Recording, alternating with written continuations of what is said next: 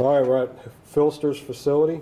Did I say that right? Yeah, sure. Is it like phlster.com? Yep. All right, and uh, this is John. What's on, up, John? everybody? How's it going? Philadelphia native. Yep. He knows what good food's all about. Yep. Uh, I got my uh, HK USP Compact 40, and uh, John is going to make a custom holster for it, and we're going to show you how it's done. Awesome. Right. Talk about whatever you want. This is how they start out. This is a sheet of olive drab Kydex, right? Yep. No, we're not putting the kitchen counter in. Although we could. So, so what's the thickness of this? This is 80 thousandths of an inch, give or take. Sometimes, Okay. depending on how they roll it, it's a little closer to, uh, you know, there's there's a little bit of variation. Sometimes, you know, if you're making a bunch of holsters, you'll start to notice like small variations in thicknesses between batches. But generally speaking, they're uh, they're pretty consistent coming from the factory. All right. so that's how it starts out, just like a sheet. A big sheet of plastic. Yeah, I figure we go with olive drab. Everyone's got a black. Everyone does blacks. We do something more interesting. It is an HK. We've got to make it special. Yep. And so, what do you just oversize the cut? I do oversize the cut. Um, depending on how quickly you heat it, um, depending on the shape of the gun, what will happen is that a, pe- a square piece of Kydex going in the oven won't be square coming out. Um, and the, the larger the piece is, the flatter the flat space is, because it, it's like a it's like when you put a tablecloth over a table, you can get like wrinkles at the corner. Right. But the more you spread it out, the less you'll get wrinkles. So I tend to use a little more Kydex Right. than So I need to. oversize it. Yeah, so I oversize it so it comes out a little bit nicer, even if I do waste a little bit of material. I think it's. And, I and think you don't use gun molds. You use the actual gun. Um, most as, of the time. As much as we can.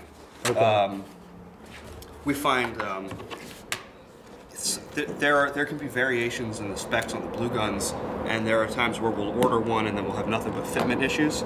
So what we've been doing is we've been trying to at least stick to either guns in person or guns that we own personally. Okay. So um, what we what we do, and I'll show you, um, is we will take a blue gun and alter it and mock it up. Okay. So, for example, I mean, those of you who are familiar with Glock know that while stuff like the 26, 19, and 17 are all really similar, Mm-hmm. there's a there are small differences between the 26 and all the other ones.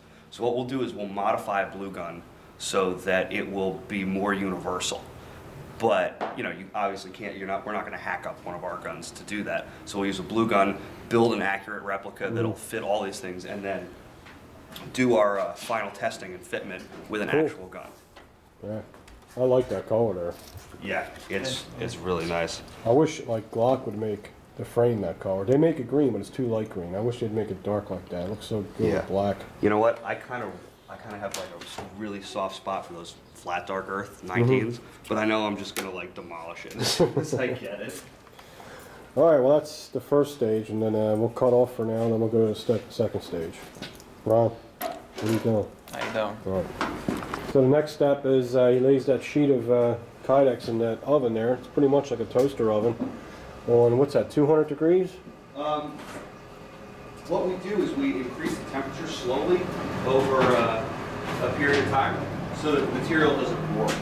Okay, and that's that just gets it flexible so you can work with it. Yeah, it basically goes from being a hard sheet of plastic to being something that's more like a big fruit roll-up. Okay. Speaking of fruit roll-ups, You hungry already? I'm just messing with Ron.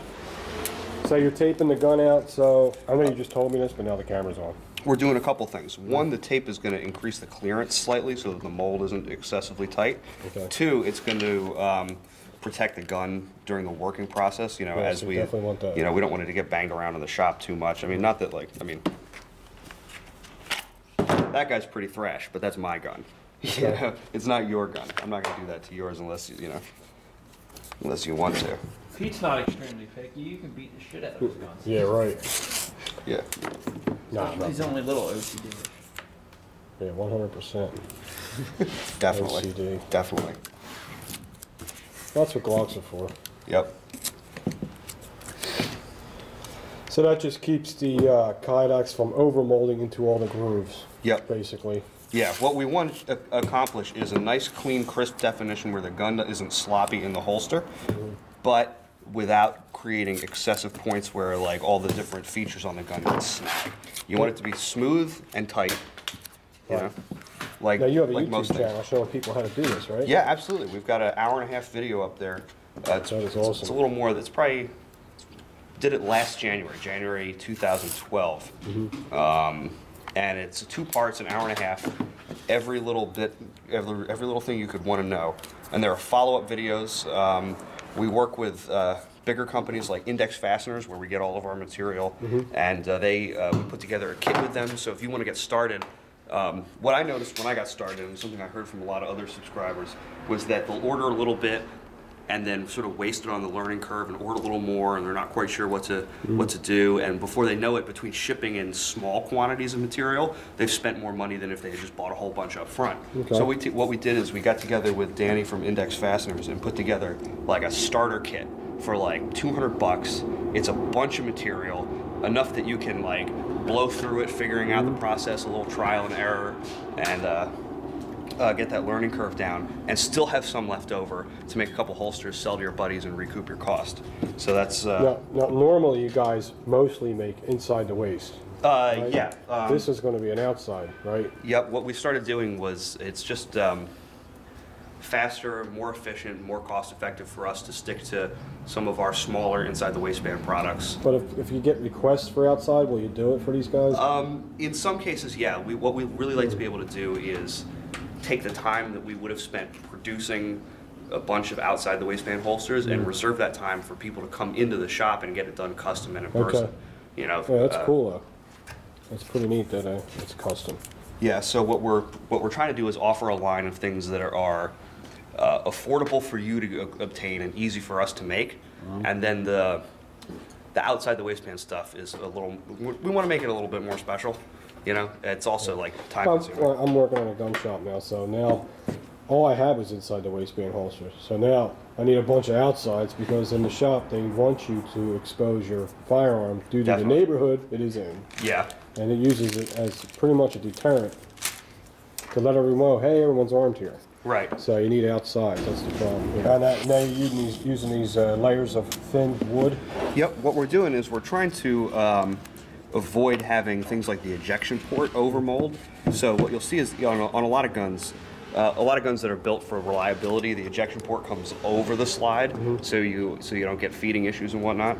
So um, what you'll see is that the ejection port is really large on the right hand side of the gun, but on the left hand side it's a, a small little notch. What we do is we even go so far as to block that out, so you don't get like excessive uh, scraping inside the holster or any kind of binding. So we, we uh, mask it out a little bit on this side.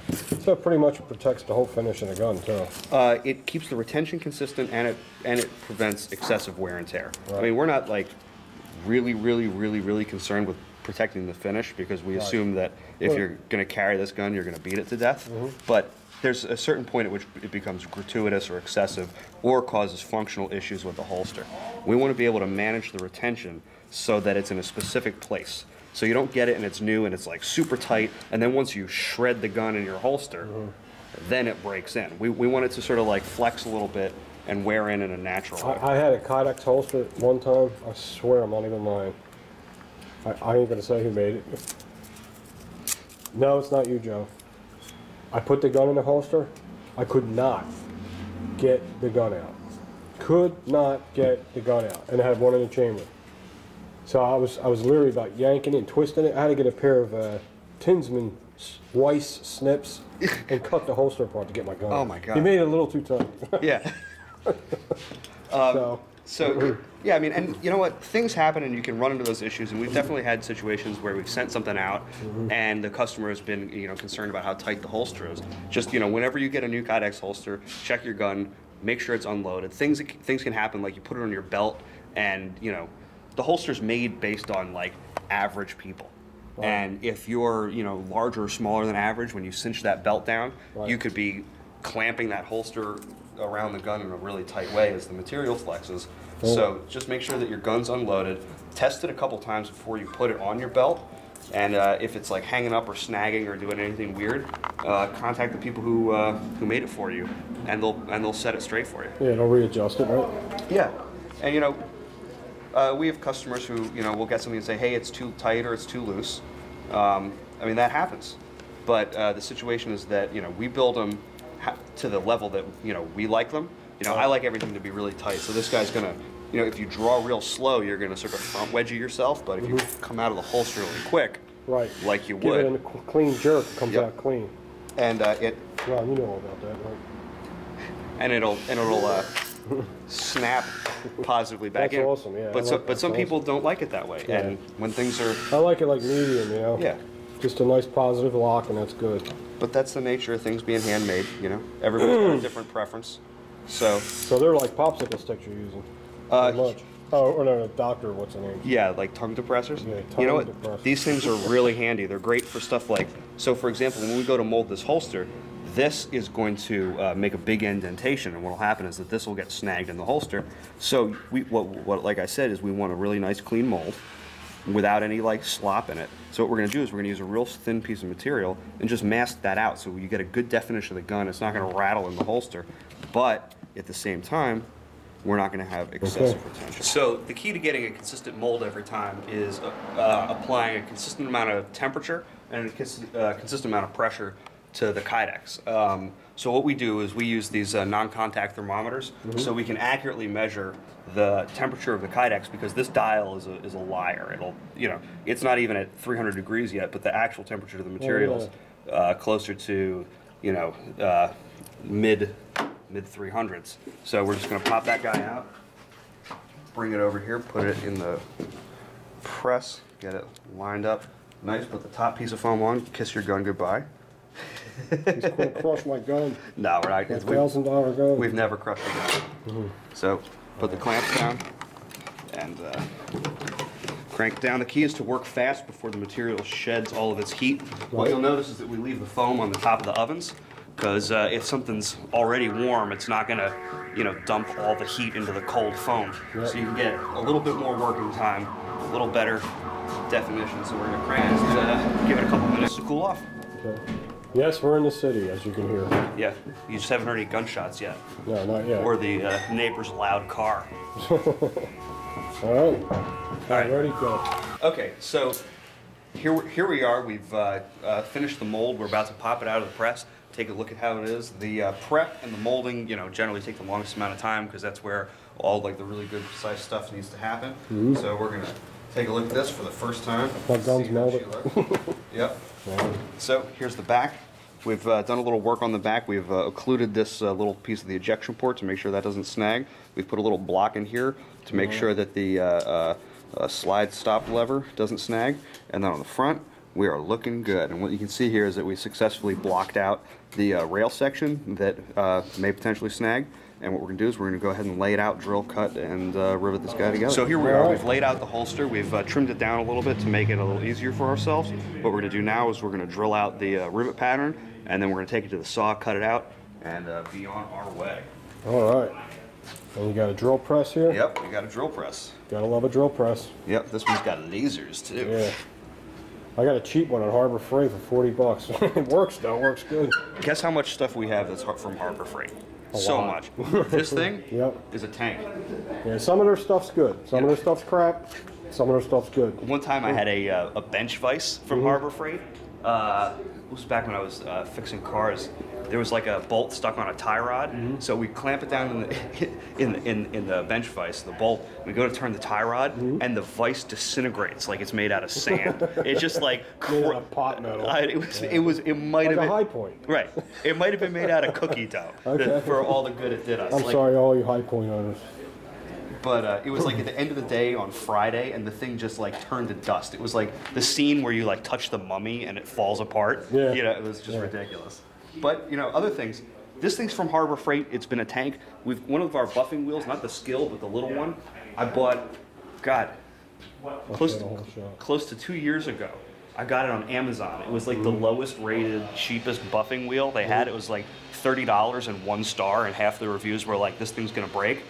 We run that thing for hours and hours and hours a day, and it does not fail. So Yeah, like that. Some of the stuff's good. you get lucky. Maybe you got them.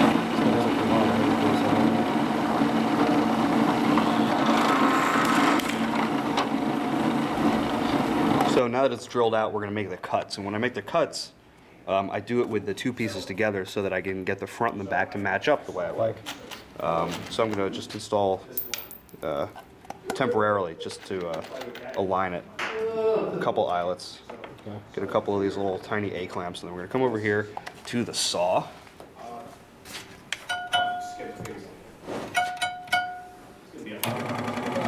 Turn that guy on. Just gonna make our cuts, man.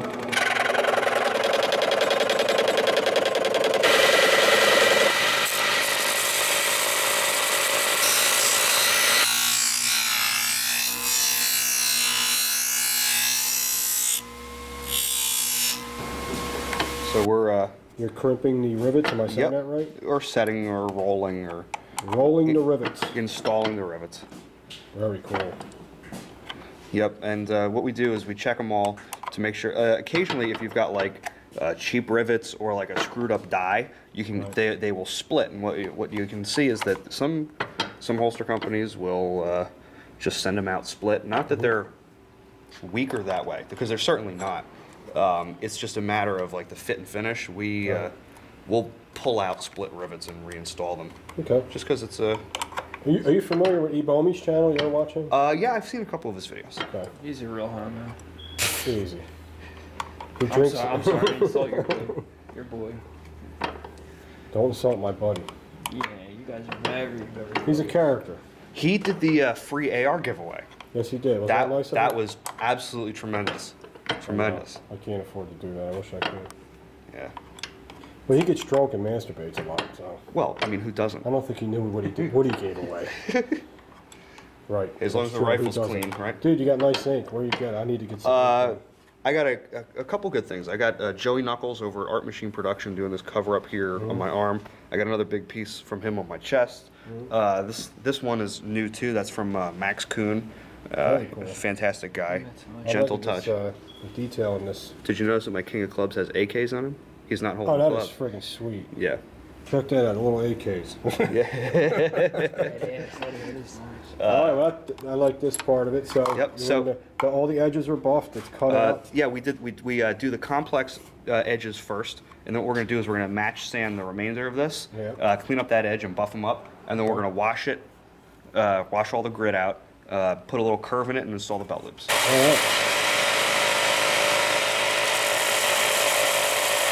So what we're going to do is we're going to put a little fold into the holster, and we're going to uh, test the retention and whatnot, maybe get that dialed in the way Pete likes it, and then we're going to put the belt loops on.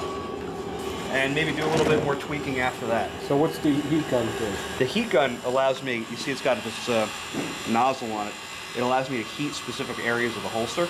So uh, what I'm going to do is I'm going to heat it basically along the line that I want it to um, uh, contour at. Uh, you just use a clamp and So a, you a piece of wood. so you use that tweaks it. Yeah, this is this is just for tweaking. Okay, gotcha. So what I can do is you can see that the way the nozzle is, I'm directing the heat away from the rest of the holster. I'm just focusing on the area that I want to heat. I got it clamped tightly in there. I'm applying a little bit of pressure so I can feel when the material so, starts to go. So go. what are you giving it like a uh, slight curve? Yeah, slight curve, because otherwise it'll be flat and uncomfortable. Right. I am round, so you need to Right. curve it. Curve it more. You're like an egg. yeah. Like a peanut M&M. Oh yeah, look at that nice angle you got on there. Yep. So you want to make sure when you curve it that it's not so curved that your belt loops aren't going to allow the belt to go Right, through. right, I Uh, I know what you're talking you know, depending on who, who you're making it for, you can adjust the amount of curve. You know, for like a and it's nice. It has that, you know, not that people care, but it has that has that leather grain look to it. That Yeah. Orange peel texture. yep. Just makes it look nice. Alright, that's great. Yeah, I mean, Kydex has like people say that Kydex doesn't have any soul or any character, but I think once once you start getting familiar with it, it like the the, the, the tactile sensation of the material is is Cool. It looks, really it has pleasant. Like a vinyl look to it. It's cool. Yeah. All right, almost. The gun's almost ready to go in there. So what we're doing now is we're adjusting the retention. We were able to successfully block out any there, anywhere that was sna- that would snag. So we're able to manipulate the retention of the holster by just increasing the amount of indentation that we apply here into the trigger guard to give it that positive snap. Whenever we make an adjustment, we want to do it on the back because obviously no one's going to see the back, and if it looks, you know, like you've uh, adjusted it, you know, or if you like lose a little bit of definition on the back, that's okay because the front is kind of the uh, the showcase area. So now we've got a little bit Oh, more yeah. snap, Per- and we're snap. perfect. Yeah, you can adjust that snap. Some people have a, like a, a more intense hold, so you would just put more heat on it and shrink it up more. Right, or you know, if you if if you obviously this is worth consulting with the person who made your holster because you know it's always worth it to uh, uh, see what what they recommend, or maybe they have a policy whereby you can send it back and uh, have it tweaked. But if you've got a holster that's like real old, or maybe it's inconvenient to ship it back, you can take a hair dryer, put it on a low setting, and just sort of like gently heat this area With the gun in there. with the gun in there, and uh, your unloaded gun in there, of course, Unloaded. and uh, just apply a small amount of pressure there. Once it gets nice and hot, you just use your thumb, and what you can do is you can trap that trigger guard in there a little bit more. So now you get a Perfect. Positive This is snap. perfect. All right, now we're putting the belt loops on. Nice, uh, thick, what do you call it, gauge or mill? uh, thickness gauge. Thickness yeah, gauge, it's yeah. a 125 thousandths. Okay. Uh, They're which- nice, nice and yeah. heavy duty. That's an eighth of an inch, right? Yep. and uh, we install them with uh, the steel hardware uh, and these little rubber grommets. Uh, here's a tip for anybody making your own holsters. We use rubber grommets of various thicknesses for uh, a number of different things. So we'll use one thickness for a regular outside the waistband holster. If we're using making a light bearing holster, we'll install taller screws and taller grommets on the light side so you can clear the light through it. And then for um, things like these uh, magazine carriers, we'll use like a really tall uh, grommet in here for the adjustment. Now, uh, you can source them, and it can be really expensive. Um, and then you've got a big wide variety of uh, different kinds of things you need to keep in stock. Or what you can do is you can get 5 16 automotive hose. And this stuff, this stuff will last 100,000 miles under the hood of a car. And if it can do that, it can be a rubber grommet. So you cut you, you cut it to whatever length you need it to. This stuff is durable and weatherproof, and you know I mean it goes under the hood. It's good stuff. Okay. So it's not as though it's like some cheapy cheapy compromise. Uh, I've you know I've fixed a lot of cars with this sort of thing. That's a 5 16th internal diameter that'll fit like all your screws and posts, and you can That's a use it. good tip. Yep, and you can use it for uh, uh, your rubber grommets and increase the quality of the holsters. And what's nice about having a rubber grommet in here, it applies a little bit of tension, helps keep the screws from backing out in the event that your Yep, constant pressure on the screws. in the event that your customer doesn't take your advice and Loctite the hardware. Mm-hmm. So uh, It's about 30 seconds. 530 seconds. It's internal diameter. Oh, okay. I guess I guess Mikey's an expert. Thank you, Mike. All right. So this holster is all done, Okay, let's It's- put the gun in there. ready to oh, go in. Alright. Nice click You want to give it a? You want to try it on? Sure. All right, Oh, cool. that looks fantastic. Yeah, that looks great. All right, let me try it on. Right. It is a finished product. This is how I'm, I'm going to carry this HK at work this weekend. Seems I it's all done this by weekend. hand. And you've seen, guys, how long this takes to make one of these, so it takes a lot of time for, for, uh, for quality. To be fair, we were BSing a little bit in the shop. Yeah, we were talking a lot. But how long does it normally take to, Uh, to complete one of these? working at full speed, probably about 45 minutes total.